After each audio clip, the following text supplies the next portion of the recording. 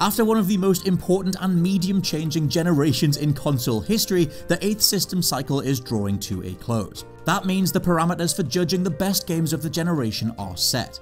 Titles released between the close of 2013 when the PS4 and Xbox One became available and the close of November 2020 when the next generation started taking hold. Obviously there are a ton of games to choose from, but as gaming thunders on into increasingly uncharted waters, let's take stock of the finest titles from the last 7 years. I'm Scott from WhatCulture.com and these are the 20 best video games of the generation. First up, a ton of honourable mentions.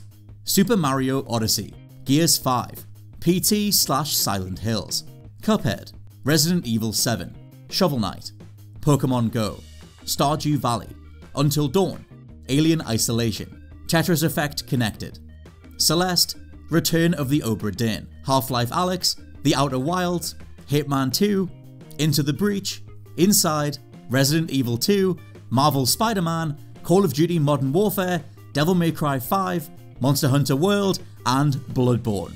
And with all those out the way, number 20 is Sekiro Shadows Die Twice. Going from those guys that made Dark Souls to one of the most dependable and beloved devs in the industry, From Software closed out the 8th generation with the brutally precise Sekiro. Taking all the lessons learned from the Souls quadrilogy alongside Bloodborne, Sekiro is that signature sense of intense dread focused into the studio's most ruthless combat system yet. Learn and overcome, or just get flattened. There is no middle ground. Number 19, Mortal Kombat 11.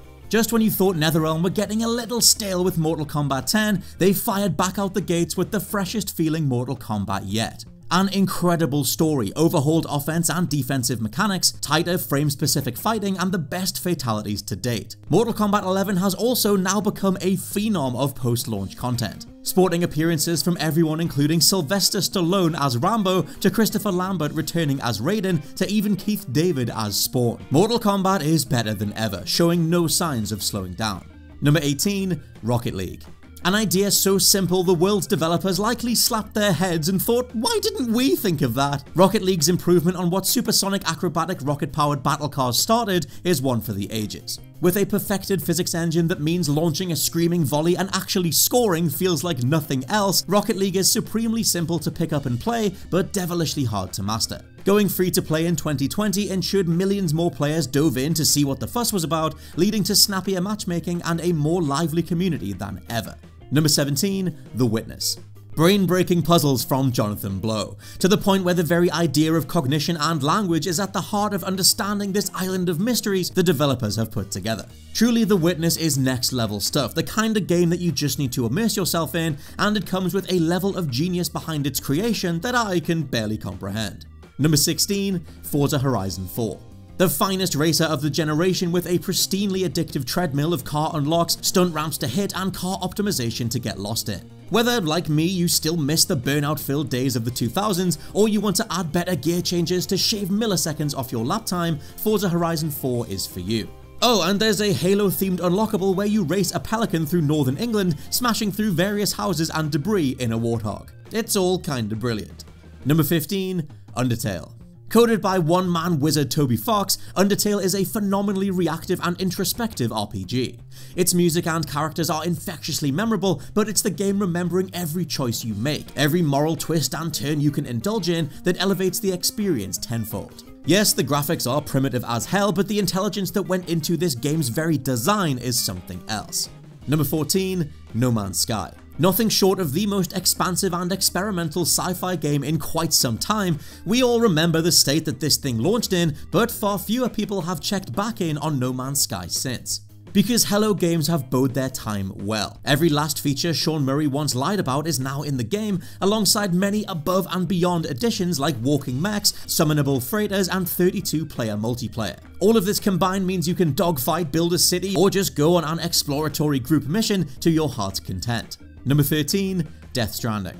As I'll get to with another of Hideo Kojima's games higher on this list, there's something about the way he designs feedback loops, gameplay rewards, and narrative incentives that made Death Stranding impossible to put down. Quirky, downright weird, and filled with poop grenades, sure, but an endless delight brimming with fresh ideas and AAA production quality in equal measure, that was assured from day one. Number 12, Control.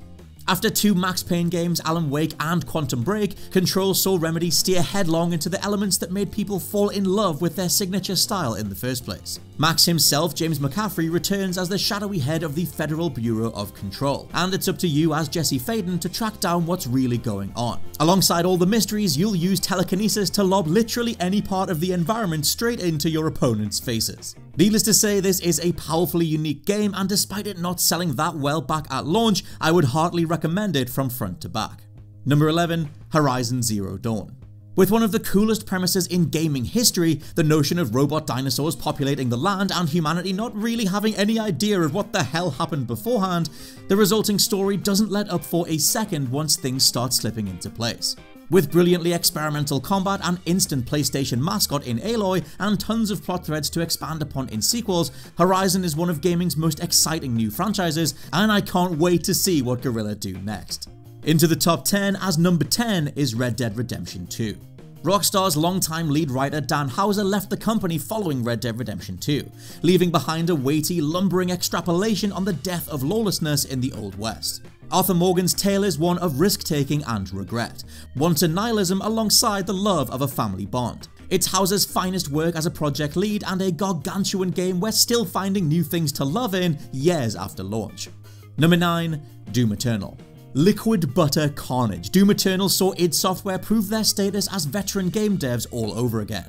Yes, Doom 2016 was a strong return to form, but Eternal cranked that dial until it fell off power-ups in abundance, a revamped lore that makes the Doomslayer into the most powerful being in all eternity, just nothing less than ripping, tearing and obliterating faster than ever until it is done. Number 8. Metal Gear Solid 5 The Phantom Pain. If we were rewarding titles based purely off gameplay and nothing else, the Phantom Pain would walk it. Hideo Kojima's final Metal Gear is as balmy as always, but by going open world he frees up your infiltration options per area. Twinned with Kojima's own kitchen sink mentality, the sheer amount of possibilities you have, whilst also building your army one scanned soldier at a time, makes MGS5 stupidly hilarious, addictive and satisfying in equal measure. Even that hampered ending can't fault how supremely well designed everything about playing this really is. Number 7. Ghost of Tsushima there's a quality to Ghost of Tsushima's overall feel that's hard to put into words. It comes the first time you take a moment to simply play the flute in between missions, watch the sun set while writing a haiku over a beautifully still lake full of tiger lilies. It's an entire open world experience without checkbox mission lists or intrusive waypoint markers. Instead, you just let the wind itself guide you from one blood-soaked battle to the next. There's a beauty and a viciousness to everything Jin Sakai does in the name of protecting Tsushima itself, and as the credits are rolling, regardless of which ending you pick, the journey is what really stands out. Number 6. Ori and the Will of the Wisps.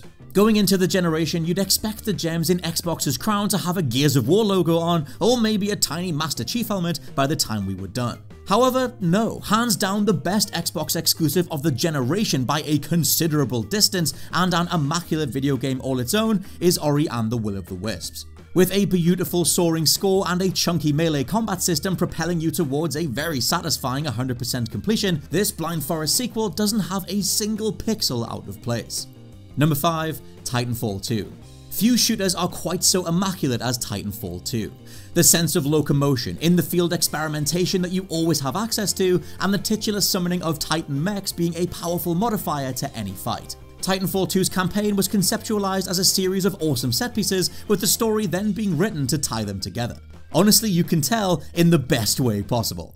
Every last drop of the immense talent over at Respawn Studios went into this, and it remains one of the stupidest marketing moves ever to release Titanfall 2 in between Call of Duty Advanced Warfare and Battlefield 1. Seriously, if you're yet to check this out, Titanfall 2 is utterly stellar.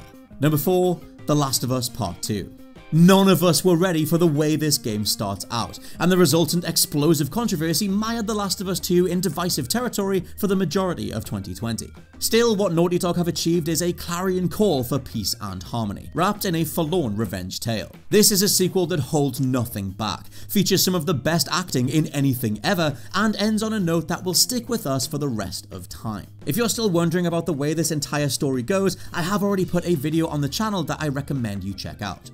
Number 3. The Witcher 3 Wild Hunt. the game that put CD Projekt Red's name up in lights. The Witcher 3 was a lot of people's first venture across the continent, and it's one that made a lifetime's worth of memories. The balletic sleek combat, morally twisted mission design that throws you in at the deep end at a moment's notice. Geralt himself is the perfect RPG protagonist, twinning the daily duties of a supernatural bounty hunter with the gripping and emotional turmoil of searching for his surrogate daughter. The Witcher 3 is easily the RPG of the generation, and who knows what the hell CDPR have in store once we fire into Cyberpunk 2077.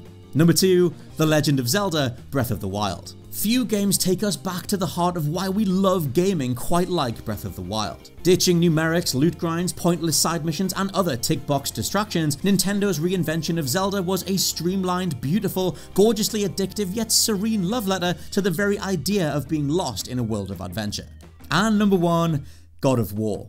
Few games get every last element of their initial project goal this right. Not just a level of technical and mechanical proficiency that meant playing God of War was a blast from front to back, but thematically 2018's effort elevates gaming as a medium, providing powerful commentary on everything that went before. It's a veteran team of unbelievably talented individuals, from Chris Judge and Sunny Suljic's performances to Cory Barlog's immaculate direction, making God of War recommendable to literally everyone, newcomers and longtime players alike.